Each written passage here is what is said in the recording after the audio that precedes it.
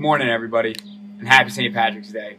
This is Kieran from Harborside Marina. We're going to take a look at the Boston Whaler Montauk 170. This this whaler is pre-owned. It's from the year 2012. Um, so up here in the bow, we have just this nice cushion in the front for for seating, as well as a cooler that flexes as a seat in the front here, right above the right above the console. Under here, you have the storage anchor locker. I could use a little bit of a cleaning in, and it will get that, but we just got the boat in. All right, so you got your rod holders right here. Um, I actually took this boat out a couple of days ago. That's why I have this. Uh, we have our Coast Guard kit on here. All right, guys, we'll take a look at the console, and you know what jumps out is going to be this Garmin that we got here. It's a GPSMAP 541. Um, I actually tested it the other day when I took the boat out it works great, no issues at all. So this this will definitely come in handy. Um, got a compass here. All right, guys. So all the gauges do work. Um, these all work as well.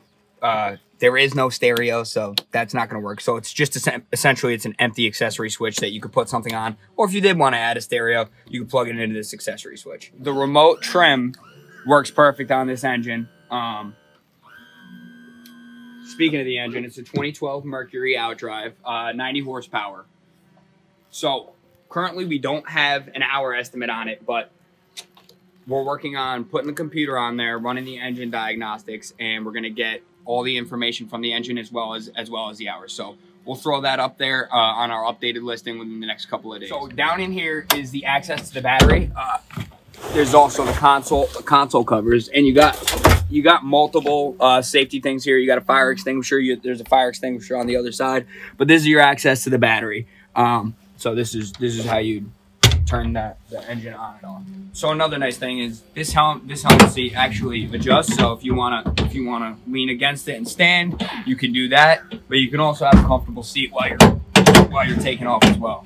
All right, guys. So down here we have our 13 gallon removable fuel tank. Uh, and this is actually nice because if you need to replace it, it's pretty inexpensive to replace, but it also uh, it also gives you decent maneuverability. You can take it out of the boat and you can fill it up in your truck if you want to. Everyone, thank you so much for checking out this Boston Whaler. If you guys have any questions, give me a call. I'm Kieran, Harborside Marina. See you out on the water.